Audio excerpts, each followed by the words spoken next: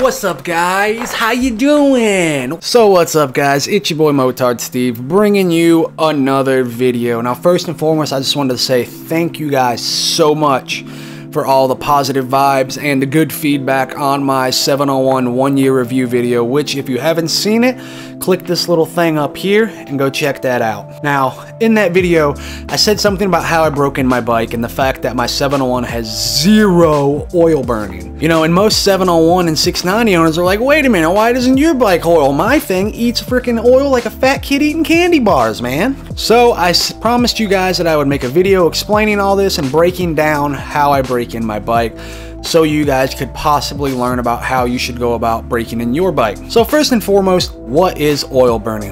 Oil burning is the act of oil getting past your oil ring seals that up sit up against your cylinder and getting into your combustion chamber and burning up. Now most people figure this out when they do an oil change, they know exactly how much oil's in there, they just did the oil change, they checked it, they go ride for 100, 200 miles, and you know, like any good motorcycle rider should do with keeping up with maintenance, you know, you should check your oil every so often before you go ride to make sure it's at the proper level so you're not going out and riding with no oil in your engine because that's just a problem you don't want. and you know, you may check your oil and be like, whoa, wait a minute, where's all my oil? My oil looks low in the sight glass, or, or my oil's low on the dipstick. Jeez, I, I, feel sorry for you if you guys have a bike, bike with a dipstick. I had a Magna like that. I hated it. I'd rather have a sight glass. But anyway, so you notice, where'd my oil go?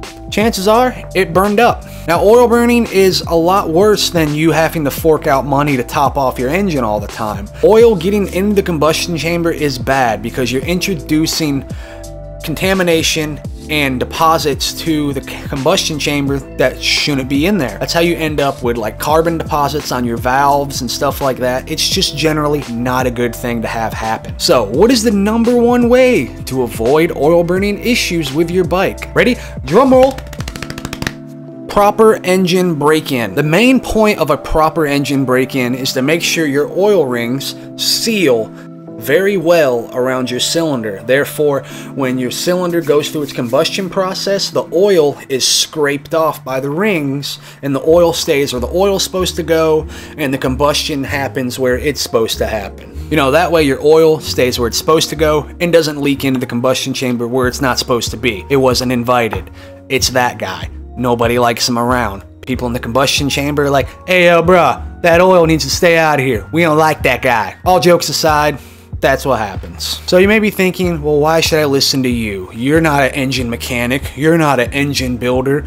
You're not even a certified tech or anything like that. Why should I listen to you? Well, you know, at the end of the day, I can only pass on my personal experiences that has happened to me with this break-in method and what I've witnessed from other people. I had two friends buy a 701 at the, pretty much around the exact same time I did. One was a 2017 model, exactly like mine, and one was a 2016 model. They both have oil burning problems, and with the 2017 that my friend has, we have pretty much the same amount of mileage. He has a little bit more, but we have right around about 7,000 and a half miles, and his eats oil, mine doesn't.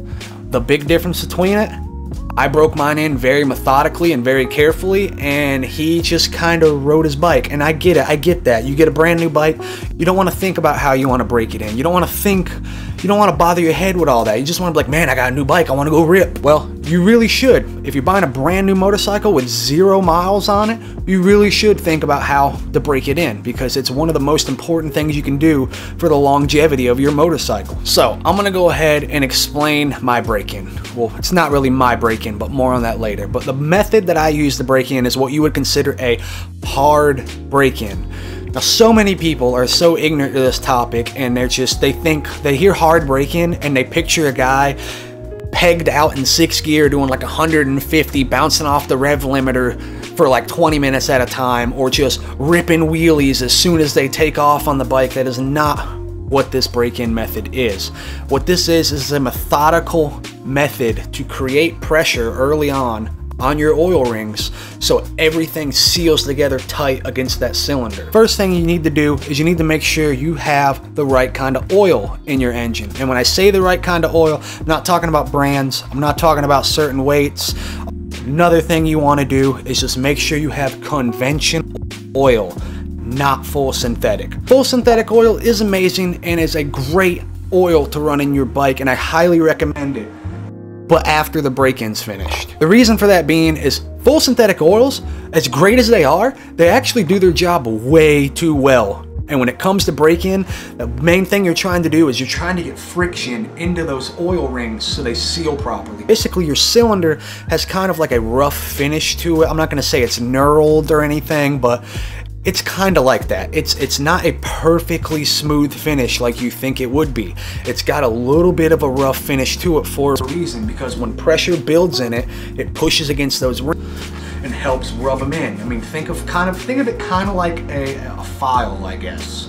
And that's why a lot of people see metal shavings in their oil because legitimately there are little metal shavings from the break-in. Full synthetic oils, like I said, are too slippery which means you can't get the right amount of friction you need to really break it in. That's why I do not recommend running full synthetic oil for the first 2,000 miles. If you don't know if your bike has full synthetic oil in it or not, I highly recommend you drop the oil immediately before you ride it and you put whatever conventional oil you like in it. That way you're 100% sure that it's conventional oil in there. And be honest with you, if you do that one thing, you're already a step in the right direction and you're a step above everybody else. That's exactly what I did. I put Rotella T4 15W40 in my bike and that's what I used to break it in. It's cheap.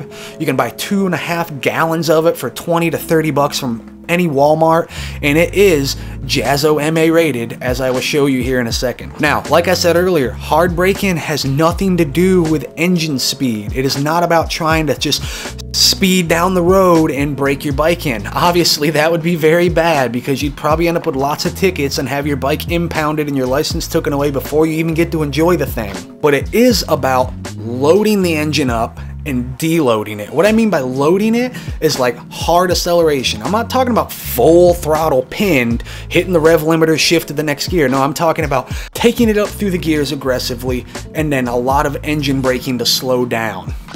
And now I will show you some live examples. We're gonna go out to the bike and I'm gonna show you some footage of how I rode for the first 25 to 50 miles to really set those rings in. All right, so real quick before we get started, guys, I mentioned using conventional oil versus synthetic oil.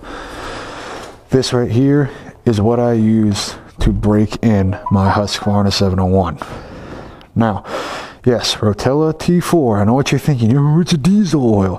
If that's your thoughts on it, don't be ignorant. What you need to be concerned with is the ratings on the back. More importantly, right there, you see that rating right there? Hopefully the camera's picking that up. JASO MA MA2. That is the rating you are looking for. As long as your oil has that rating, it's safe to use in a wet clutch. And as you can see, for break-in, you're going to change the oil a lot. You're going to need a lot of oil. So boom. I think this is like 20 or 30 bucks, two and a half gallons. Pretty sure that gets me like, got me five or six oil changes. Matter of fact, I think there's still leftover oil in there. First thing you're going to want to do, obviously, is you're going to want to let the bike idle for a little bit before you get on it, just to make sure it's up to operating temperature.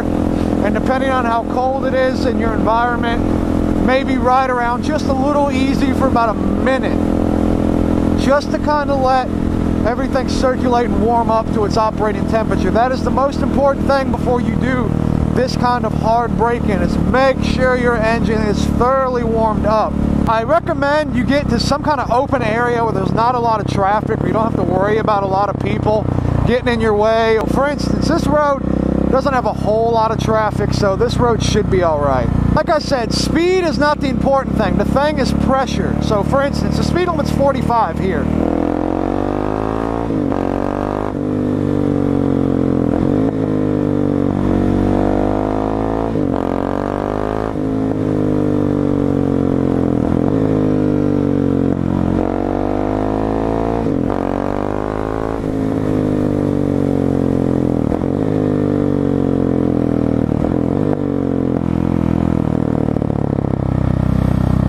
What you're looking for. You don't have, see, I'm not even getting close to the rev limiter.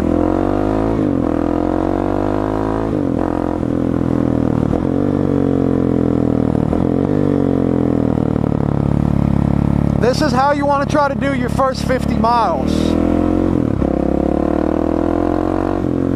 Now I know what you're thinking, this is kind of an unorthodox way to ride on the street, and I'll admit, yes it is.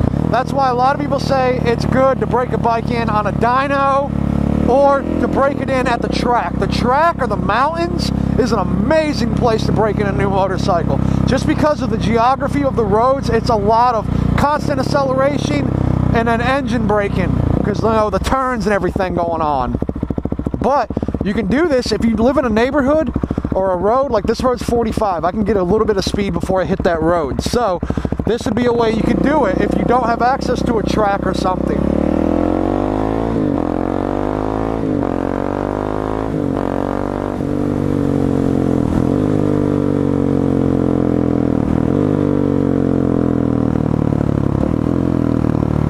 But you'll notice this break-in is not me just pegging it off the rev limiter and going absolutely nuts.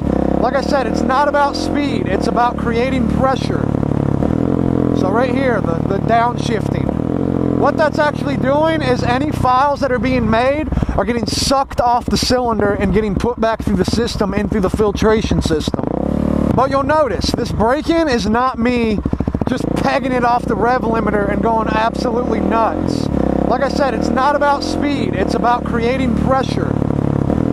So right here, the, the downshifting. What that's actually doing is any files that are being made are getting sucked off the cylinder and getting put back through the system and through the filtration system.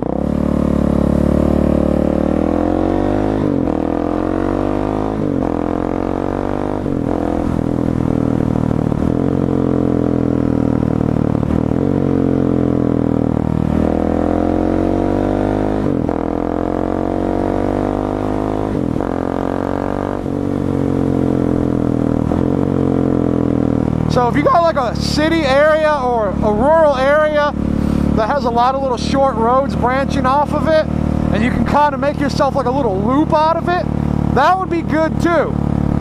Just disclaimer, when you're on the street, watch your speeds, watch for cops. It's probably not the best place to break it in, considering that slowing down abruptly is going to throw people off behind you. So like I said, try to pick a place that doesn't have a lot of traffic or activity.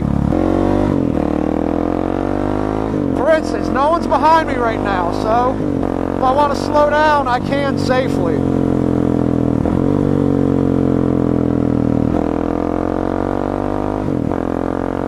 I know it looks retarded. It kind of makes you seem like you're trying to be a jackass and just make a lot of noise, especially if you have an exhaust like mine. But most of you, when you're breaking in a bike, at least you'll have the benefit of chances are you don't have an aftermarket exhaust yet. So see, this is what you don't want to do.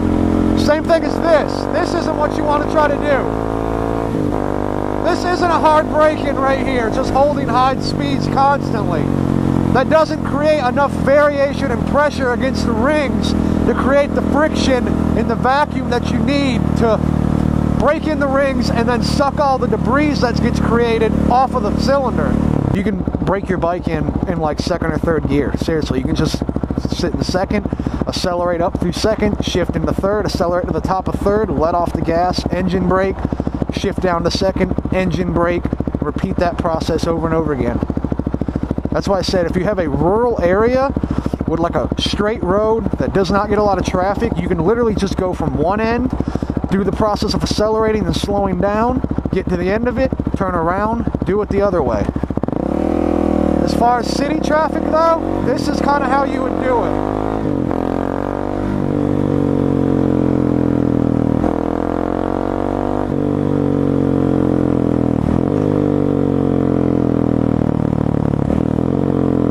It's just a methodical and aggressive way of breaking in your bike. So as you can see, like I said, you don't have to speed. You can literally break your bike in properly and just, just by using two or three gears. You don't even have to get into top gear to break it in properly. And like I said, this is going to create a lot of metal shavings. Metal shavings mostly will be picked up by your oil screen and your oil filter, but there's going to be some that slip through because I mean we're talking we're talking like dust almost, dust almost in your oil. So you want to change it often because you don't want that stuff in your transmission gears, in your seals, and every other place where they don't belong. So drop your oil very often. The way I did it is I dropped the oil at 25 miles, which is where you're going to notice the most oil shavings. Your oil is going to have like a gray kind of glimmery thing to it. Don't don't freak out. That's perfectly perfectly normal and that's actually kind of a good thing because that means you're breaking in those rings, which is what you want. If you drop it at 25 miles or something and you don't see any kind of like glimmeriness, you need to start riding a lot harder. You're not riding as hard as you think you are. 50 miles, drop it again. Again, you're gonna see some pieces. Me, when I pulled my oil screens out, I seen a couple little like metal flakes here and there. That's perfectly normal. My bike still runs fine, case in point. It's not bad, don't freak out. It's perfectly normal.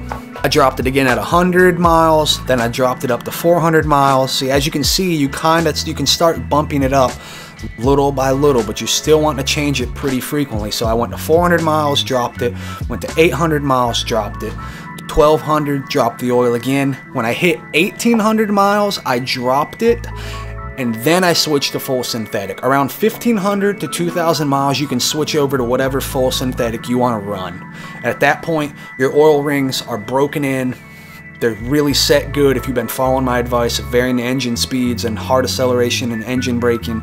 They should be broken in perfectly fine. At that point, then you can switch over to your more slippery full synthetic oils. And then, so lastly, the big question that probably most people are here for. How do you fix oil burning if your bike already has the symptoms for it? Well, there's two ways that I can tell you. One, you really kind of have a 50-50 shot of completely eliminating it.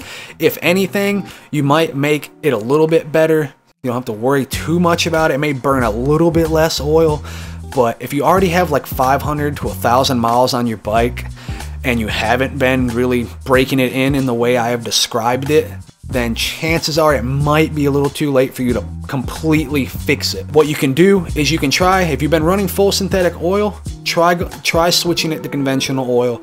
You'll add some friction back and maybe, maybe you'll be able to set those rings in better. And at the very least, you'll be able to like lower the amount of oil your bike consumes, hopefully. But like I said, there's no guarantee. Every bike's different. It really depends on how you've been riding it and whatnot.